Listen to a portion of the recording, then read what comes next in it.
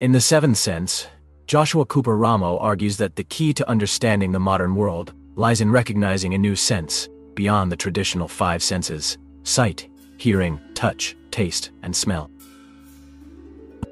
This seventh sense is the ability to gather and interpret information from vast networks, such as the internet and social media.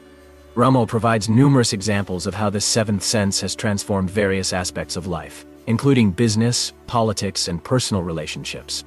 He also discusses the potential dangers of relying too heavily on this new sense, such as the risk of becoming overwhelmed by information or losing touch with reality. Throughout the book, Ramo emphasizes the importance of developing this new sense in order to navigate the complexities of the modern world. Dot. Dr. Sewell, a pharmaceutical either with Hapsutane